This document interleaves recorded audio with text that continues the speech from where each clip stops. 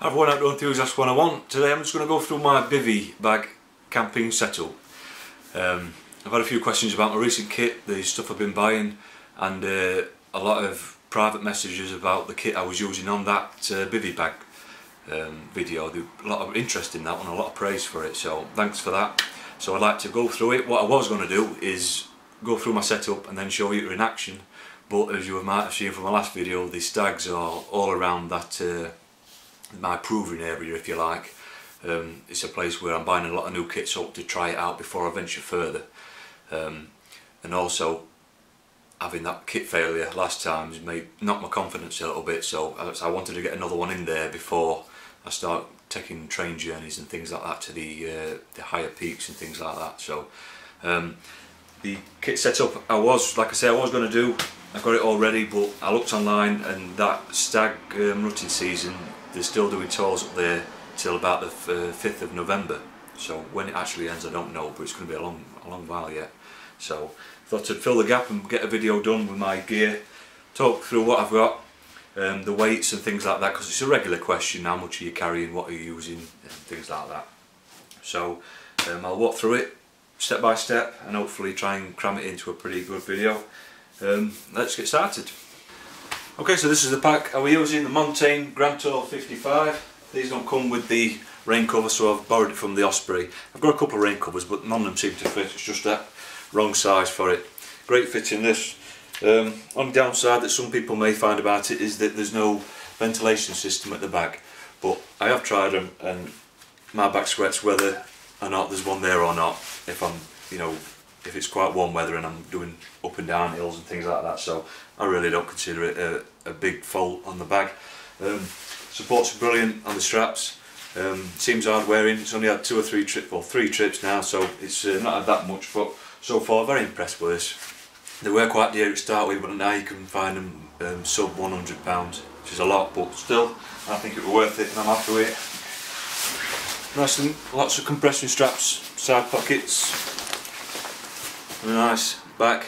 They don't do anything those vents. Um, I'll tell you what I'm going to do before we start. Each and every bit of this kit's mine and I've paid for it. I've never been given anything for the purposes of a video for promotion or things like that. I'm not against it but I don't do it. It's just everything you'll see in this one is bought by me or it's been traded or friends and things like that so um, I'll take you through the bits of gear. Well first what I'll do is I'll, I'll weigh it I think there is an extra jacket in here. There may be a few extra things compared to my last bivy camp, but uh, I'm sure it was about 10 kilograms on the last one. This has got food in. What's that? It's a smidge over 11, so I'd say 11 kilograms. My food's in there, but my water isn't. So you're looking at 13 kilograms for my setup. Okay, so on the outside we've got two mesh pockets. This side, a windproof shirt. Loads of different options on the market. I went with a couple of recommendations for the Montane Featherlight Smock. It keeps off um, short, sharp showers and the wind and um, mist and fog. Excellent. Very happy I invested in one of those. Uh, if you're ill walking, I suggest a windproof top, regardless of the make you go for. Other side, on my last trip I was trying to put the tent up and my um, hand kept slipping on the pole. So I thought, well, I might, I might have to look into some um, grippy gloves. Um, I do in, I do like rab gear. I've found these when I went to the toy store. and they go outdoors. Um, phantom rab phantom grip gloves. You can see the palms on them. How sticky they are. Going to be great for the walkie poles and for putting my tent up, things like that. So I thought I'd invest. I've always had thin Thinsulate gloves, very basic gloves. So I thought I'd treat myself and get a, a nice pair. Um, for water, I was asked about why I didn't have the Sawyer this time, if I had any problems with it. No, if I have hydration bladders, in case they fail I like to have a bottle with me. So if I take the hydration um, bladders, I'll take the travel tap. If I'm not taking the hydration, I'll take two Nalgene bottles and the Sawyer system. These are the ultralights, they're very hard to find these. Um, if anyone can find one of these, I'd like to know, I'd like another pair. Um, but the vivid colours, again safe, green and red for collected water, things like that, so always keep good to keep handy. Um, so in the top, things I want, I say, I've got the Nalgene bottles, I'll take the Sawyer. Um, this is a copy of a Millbank bag, all it is is heavy cotton canvas sewn to the shape of a large sock, that's all it is. Once the water, the cotton absorbs the water it expands, therefore filtering out the water that's going through. Um, all filtration systems have a life expectancy dependent on the clarity of water. If I can take 10 minutes to clean it with this before it goes into there, I'll do it. I'm in no rush. Um, I could sit admiring the view while this is all going taking place. It doesn't bother me at all. So those I can I, I drink a lot of water on the move, so those are always handy. Those kind of things. Um, you'll see my jacket failed me, so I've gone back to the trusty Gore-Tex, Army Gore-Tex. I've had a DPM one for eight years, never let a drop in. Um, what I didn't like about them is the hood. These are literally like Gandalf the Grey. It comes literally right over you this far. So in my last video, um, Wakey George bus pass camper, you said, well, you can mod them. I glued mine. And I thought, well, what a great idea. And even after that, he sent me an email of just how he did his. So I thought, yeah, I'm going to try that. And I have done. So I'll show you a quick I've done. You probably saved me over well over hundred pounds. See how much I've done it there. Pinned it with some storm seal glue, excellent glue, um, and then put a stitch in it just to hold it. And same again on the sides. Folded it underneath itself three times. That's how much I've had to take it up.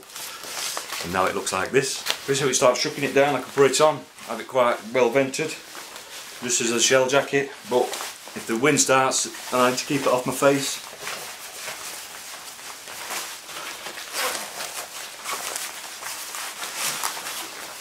how about that great fitting hood now thanks again George absolutely brilliant I can't believe I didn't think on it myself but it just takes that little bit doesn't it from your subscribers and uh, a great saving very happy with this now couldn't care less about the DPM the camouflage I really could care less about what people think about the look of it.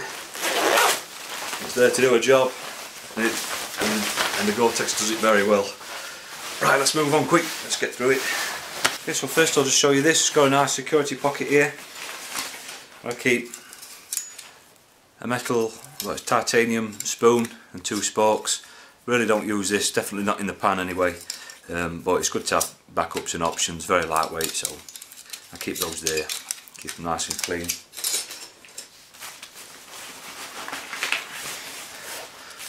A wallet, very lightweight. If I'm going so far and I don't want to walk it back, I can have some notes in here so I can jump on a train or public transport. Uh, I've got some spare Oasis tablets. I've got a tick key that, um, what's his name, Terry, T-Camps, um, give me the idea to take that a tick key always good especially when I'm in the area where there's deer so thanks T. He probably knows no introduction but T Camps excellent channel. I recommend you go and look for him. I'll put his name up and his link in the description. Your work's excellent mate. Keep it up um, so yeah notes tick key spare Oasis tablets I've got um, a double Fresnel lens 20 mag and some coins for, like I say, public transport. Good to keep that so I'm not keeping all my bank cards and things like that. And then, um, overnighters, I'm a scruff and I don't take these, but over two or three nights, toothbrush and a two-in-one toothpaste and mouthwash. Okay, so what I think I'll do now is lay everything out and just show you exactly what's in this now. Um, and then just take you bit by bit which is which. So I'll do that now and turn you around on the floor probably. Be okay, easier. so first, Fizan compact poles, very lightweight. I wanted basically as large as I could get, but metal, and these are what came up. So these have been excellent. Just on the bottom here I've got some um, intensity grade high vis tape. It doesn't impede on the, uh, the mechanism or anything like that. So if I mean I am in trouble, these can be used basically as ones. These reflect very well. High-vis tape. Found on eBay but it's pretty expensive stuff. But one roll up for last year for all your kit. Um, first tarps. I've been through just about every tarp you can get. Um, now I'm trying to shed weight not only for walking long distances but the impact it has on my knee got a bad knee if you're not familiar with my channel before. Um, two operations, so I'm really trying to cut down weight now. And I think uh, bivy bag camping is going to be the way I'm really going to try and push to um, get sorted. So uh, on the bivy bag camping video I used the Siltarp 1. I bought the Siltarp 2 so I can have full coverage in wet weather. Um, so I've gone with the Siltarp 2. The, for, for setting up the tarp, Dyneema 2mm Also, if you ever need line locks, you see that um, sliding cobra we've landed video I did? Also good for line locks these. Um, you can have a look at that. It's just some basic tent, three hold guy lines for tightening. Um, and the carabiners for attaching on different points of the Alpkit clips. Very cheap and very lightweight those very happy with those. I've uh, sent a few of them out to friends. Um, also again, Alpkit. They seem to do the very good stuff a bit cheaper than everybody else. So I've got titanium pegs from Alpkit. There's 10 there. I've put changed this with Dyneema. They don't absorb as much water. So that's why I take it they can start to smell when you've got too much water, especially in paracord. And then I've got four extra long, extra strong pegs I forget what these are called, I'll have to put it on screen. But they're like wide beam tent pegs. Very strong and very good for when it's windy. And they're also half the weight of these. Not a chance to use these yet. They are very heavy very bulky. Um, still trying to justify them really. I've got two extra ones but for now those ones are doing the job very well. Clean up very well. So we'll see how we get on with that setup. It's still a work in progress. There's a bed Exped Synmat 7 medium, ultralight 7 and a lot lighter and a lot more compact than the 9 long and wide I was using. I've also, it came with it, a deal with it, uh, it's got the inflatable bag so I'm not blowing condensation in there. The bivy bag is a Rab Alpine bivy, it's an eVent material, I'm not too sure about the material yet, I need to extended use with it but I have got a backup which is the British Army Gore-Tex also an MTP same as my Gore-Tex jacket. Um, we'll see how we get on with that. It's a lot lighter than the Army Bivy which is why I've decided to go with it.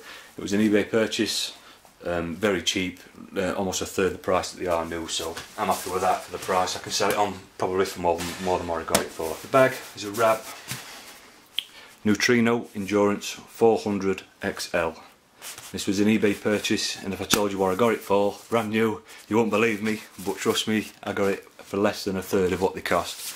Um, I, I don't know where I'd be without eBay. That's a superb bag and also keeping that within the um, bivy bag also traps a bit more air and you can get down to about it's good to about zero it says but I think I'm going to try and push it with the different down setups like jackets and trousers um, inside that always with down products I'd recommend uh, a sleeping bag liner just to keep your bodily sweat and any um, greases or anything like that off your bag. It take, you don't want to be washing it really as long as you can. So a good sleeping bag liner. This one's a silk one.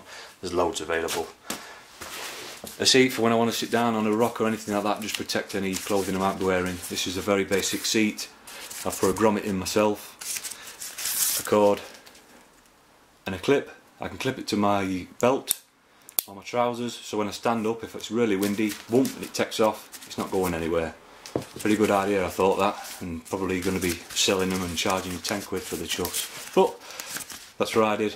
A very basic grommet kit you can get for a fiver and they're very useful for all sorts of things so um, pretty good uh, seat that no problems with that. So that's the basic setup. Changeable obviously would be um, for snow maybe. I don't know how I'm going to get on with this yet. It's, very, it's been very good so far but I don't know how it's going to be in the very cold weather. I have got the 9 so we'll see how it goes. And of course I can go with the Rab 900 this is the 400 I can go up to a 900 for the very cold weather. But I'll see how I get on with this and the different clothing. So that's my um, basic sleep setup. I've changed my Alpkit Filo jacket. It wasn't I didn't get the right size. I really should have got an XL, but I got the large and it, it just didn't sit right. So I sold that and see what I could get for my money before I bought another Filo. Very much rec recommended, they're a very good jacket. But I managed to twig onto one of these. This is a Montane Black Ice. It's actually a box wall jacket, which is considerably better than the um, stitch through jackets. Um, you'll have to go into it if you want to know the ins and outs about stitch through and box wall. Just type it in Google, you'll find out what the difference is. But in short, these are much more um, insulative, I reckon the right name is, the right word. So I put that in there. This is an Alpkit. Um, I think it's a five litre five litre bag. Sits in there really nice, really robust to keep it nicely protected and dry. Um, Montane Black Ice, another eBay, and I got it for 62, and I think they're over 200 pounds. So um, honestly, I'm not lying about these prices. I really do get some awesome bargains. I'm very lucky. Um, secondly, this is that's for when it really turns cold, just in case at night. This is more of an intermediate one. I think you've seen before on my uh, on my videos. First of all, the Jack Wolfskin Atmosphere down trousers, awesome trousers, and the Jack Wolfskin Zen XT jacket. It's a bit like a Microlite jacket. Um, awesome. I really, really love it. It's it's excellent. It's really not cold enough to use daily yet. It's that good, but hoping to use it more and more. Up on the hills when the wind's biting it drops cold, that's a great system to just sit and be comfortable in. Um, base layers are merino wool, there's loads of different brands and ones out there. These are Red Ram merino wool base layers and I've also got a, merino wool buff. Great for keeping your arms covered um, from mosquitoes and things like that. The buff you can put over your head and then put another one on so you, you really don't suffer with mosquitoes if you do, like our poor friend Eddie, seems to seems to be on every video he's getting battered by them, but um, just a basic hat and a mosquito net will keep them off. Um, very lightweight, it's, it's worth having something like that, you don't want to be um, getting bothered by them. And then a, a, this is an MSR pack towel, it's just a, a microfiber towel, great for rubbing down your tent, um, on the outside if it's been raining, or the inside if you've got condensation. Same with the tarps, just rubbing them down and then you can put them in your in your bag a lot less wet than what they would have been. So um, and also if it's windy you can rub them down first and then they've got much better chance of drying out if you just rub them down with one of those. Very lightweight and you can wring them out and they're almost dry. The, uh, that, that was a really good one. That's an MSR pack towel but loads of different price ranges and brands and all sorts. So um, for sitting comfortable at night at this time of year I have got some even better stuff. Um, I've got some severe Arctic style jacket and trousers which you may see depending on if it gets cold enough this year and I've also got some down booties um, to go with these and some I've got some Rab endurance mitts um, for when it gets Baltic when it's really cold so but for now um, my basic setup this is what will this is what will come with me okay for stoves I've recently been asked about some um, gear. This is a definite recommendation. Bloody thrilled with this thing. Um, MSR Whisperlite Universal. They're great with a gas canister, something like this. It's also got the stand so you can tip it upside down. The reason for doing that is when it gets cold, apparently it's better for the gas to be upside down like this. Um, I'm sure there's loads of things you can read and reviews and stuff, but I believe it. Um, if I can extend the life of the gas by doing this, you know, it's, it's there anyway. Um, but why I do like this, I've said quite a few times probably, is this big ring and it's very adjustable. I prefer to heat my food in the pan rather than boil it. I think it takes far too long to get your food hot by boiling in the bag. Maybe I'm doing something wrong, maybe not, but you know, that's, well, there's choices, aren't we? We all do a thing the wrong way. Um, when it when it gets really cold you can just change the adapter on that and hook up the fuel bottle and use petrol or Coleman fuel and things like that.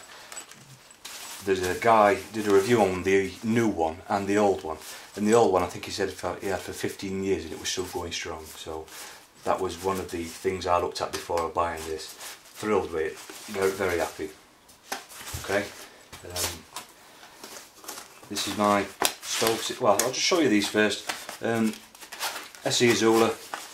I've got the windshield in here, it's quite sharp on the edges, is why I've got in the heavy Cordura bag. And the um, I've got two strikers in there, the one that Ant gave me, um, one on the ESEE Izula. Um, I've got a lighter within this now. Show you.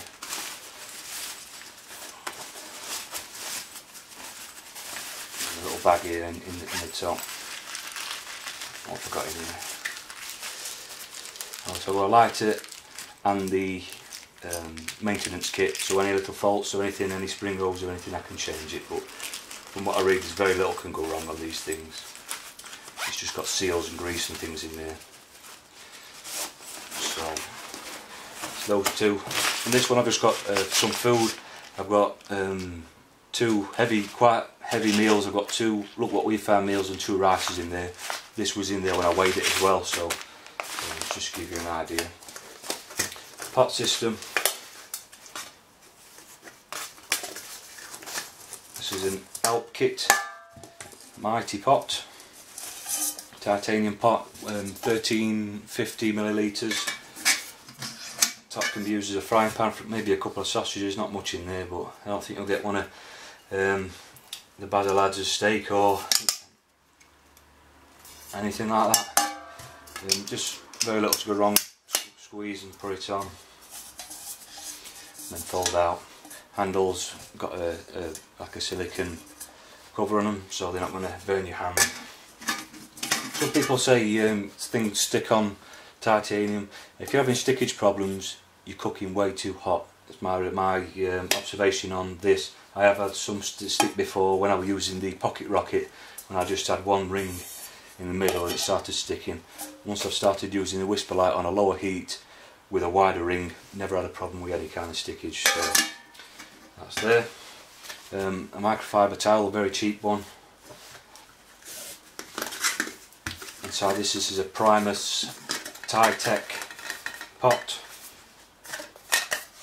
again with the covers. I had a, a Vargo uh, titanium pot. Come to lift it up and scalded my fingers really burnt them bad. So if you're looking for titanium make sure it's got one of these um, kind of protective silicon bands on it.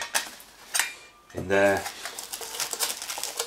sugar decent tea bags. Don't drink milk anymore so I can, now I can start drinking um, tea, some decent teas and some decent coffee that's uh, Nescafe Alta Rica coffee. Really gorgeous. So that's quite a lot in there. Tight Primus cup. And inside that the Vargo titanium camping mug. Excellent this. Um, one thing you can notice with titanium gear is you can cool down quicker than stainless steel. But um, personally I drink it before it gets cold so it's not really a problem for me. Um, they nest very well inside each other so I'm very happy with this system. I don't see any reason to change it in the near future. So uh, I'll put that away and I'll just take you on to the next thing. Okay so the last three is definitely lighting. You know I spend a lot of time out. I don't go inside a tent at night. I like to sit out which is why uh, good uh, good clothing, very good high quality clothing and waterproofs. But when you are moving around, a decent head torch, this has been faultless. Petzl Tikka XP2, excellent torch that, well, well worth every penny I paid for it. Um, spare batteries for that, spare batteries for the lantern. This is an Alpkit, um, what's it called now? Glow, Alpkit Glow 170. They also do a 190 I think, but light, even lighter, a dim and a flashing of course can be used as a torch as well. Pretty good little system that. Hang it with a basic carabiner, that one's a Silva, come from an old compass. Um, all you need really, something for lighting up your space at night, just for doing the camera work basically, and then something on my head for looking around, which is a head torch. Um, it's as complicated as lighting gets for me.